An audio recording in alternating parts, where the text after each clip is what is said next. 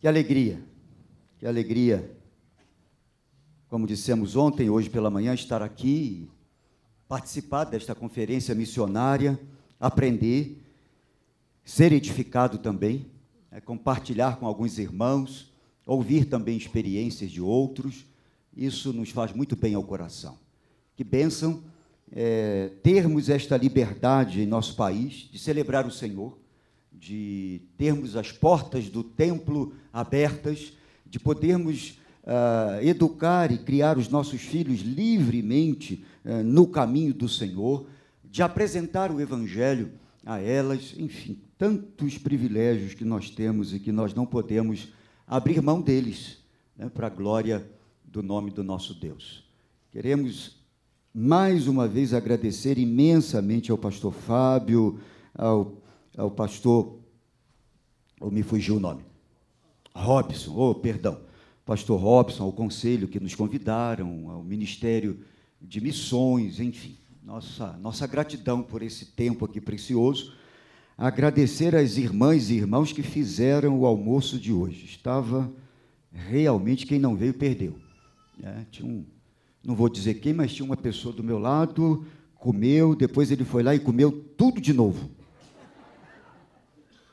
Ah, eu, como visitante, fiquei assim meio constrangido, né, mas a vontade era comer mais, brincadeira. Né?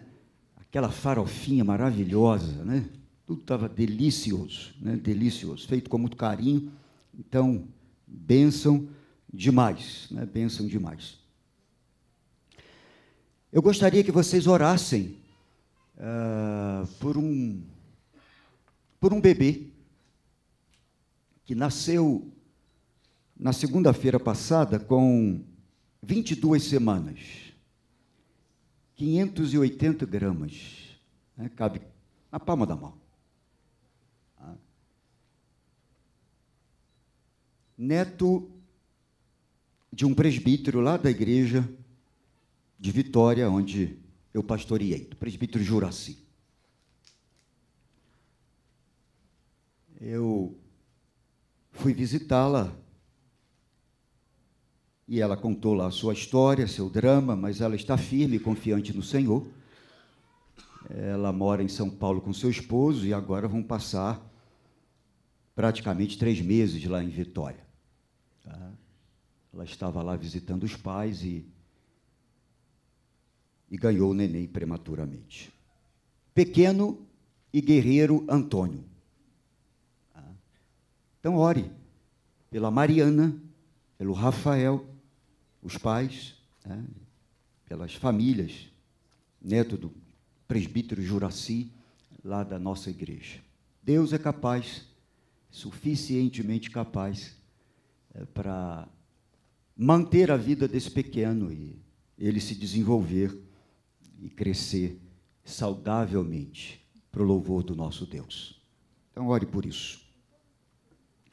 Antes da gente expor um texto bíblico, eu gostaria de mostrar o restante das fotos que nós mostramos ontem à noite, né, rapidamente, para que vocês conheçam um pouquinho do trabalho e orem né, por nós. Ah, nós estamos lá no sul da França, na cidade de Marseille, né, a cidade que tem 900 mil habitantes, é a segunda maior cidade da França, perdendo apenas para Paris. Pode passar. Essa a gente falou ontem, né? E a gente só vai falar sobre algumas. Aí é o centro da cidade, onde a cidade começou, uma cidade de 2.650 anos, a mais antiga cidade da França. Aí a nossa cidadezinha, do lado né, de Marseille, faz parte da grande Marseille, uh, que se chama Alô, né? Você pega o telefone e diz alô, né? é o nome da nossa cidadezinha. Né? Pode passar, é uma cidade também medieval, eis aí a nossa catedral. Né? É a igreja que nós construímos na garagem da casa. Em cima é a casa pastoral. Né? Esse é o nosso grupo, com exceção aí praticamente de todas as crianças que são visitantes. Né? Pode passar nosso estudo bíblico, reunião de oração mensal, temos uma reunião durante o dia e esta mensal. São as irmãs da SAF, vamos dizer assim, que desenvolve um trabalho de, de artesanato. Tá? Esse é o departamento infantil, que a Priscila cuida deles. Esse é um curso de cozinha em fé do nosso, da nossa igreja, uma estratégia de evangelização feita pelo nosso presbítero. E aí, uh, esta é uma outra estratégia de evangelização. Como dissemos, eles amam o Brasil, então a gente faz, uh, já vamos para a terceira edição, uma festa do Brasil, uma noite brasileira. Aí, se vocês conseguirem ler, está escrito Soirée Brasiliana, né, uma noite brasileira. A gente apresenta o Brasil né, culturalmente, geograficamente, uh, culinariamente, e a gente sempre termina falando uh, do Brasil religioso né, e do Brasil presbiteriano e da nossa fé, e a gente, então, de alguma forma, uh, fala da nossa fé em Cristo Jesus. Né? E a gente sempre tem muitos amigos, muitos vizinhos que participam. A Priscila, depois, né, antes, mas depois ela se desdobra fazendo os quitutes regionais, né, e aí depois a gente come e estabelece é, relação, amizade com esse pessoal. A gente tem a intenção de transformar essa festa numa festa das nações, uma festa missionária. Né. Essas jovens são são jovens muçulmanas, junto com, com esta jovem mãe muçulmana, elas são argelianas, a igreja é de franceses, para franceses, a gente não tem uh, nenhuma vocação, a princípio, para trabalhar com muçulmanos, né? não é o nosso foco, mas a Priscila trabalha como voluntária na Cruz Vermelha Internacional, exatamente para praticar o francês e para fazer amizades e esta mãe trabalha lá também como voluntária, e de quando em quando elas vão à igreja, nas atividades e tudo mais. Né? Ah, há uma carência enorme de liderança, de formação lá na nossa denominação, na igreja irmã né, da IPB. Então, a gente criou um curso Se Formar para Servir, ao invés de fazer apenas com uma pequena igreja, a gente faz com cinco, seis uh, igrejas da região, e isso uh, tem ajudado bastante. A gente trata de diversos temas, como evangelismo, liturgia, liderança, eclesiologia, enfim. Chama alguns professores da faculdade de teologia, enfim.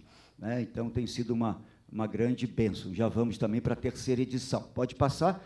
E aí a gente tem uma média de 15, 20 alunos. Ao invés de 3, 4, né? a gente otimiza tempo, espaço e, e o, o material humano. Essa é uma outra estratégia.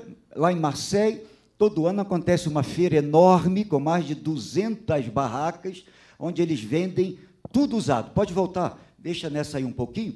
Eles vendem tudo usado uh, de eletrodoméstico, a roupa infantil. Você com 50 euros, você faz assim uma festa. Você com 200 reais, você faz uma festa. Você quase equipa uma casa. Né? Brincadeira, mas dá para comprar muita coisa. E aí a gente põe a nossa barraquinha e oferece um café por um sorriso. É o que está escrito ali na, na placa, né? e oferece café, bolo, água, enfim, e muita gente se achega à barraca. Alguns vão tirando moeda para pagar o café, e a gente diz que é de graça, e eles dizem por que, que é de graça, né? porque o francês gosta de pagar tudo, né?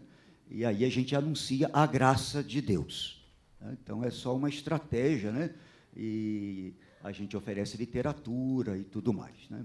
Sempre muito bacana esse, esse trabalho de, de evangelismo. Ah, esse é um outro trabalho que a gente faz com as crianças, num parque, tudo lá tem que ser com autorização.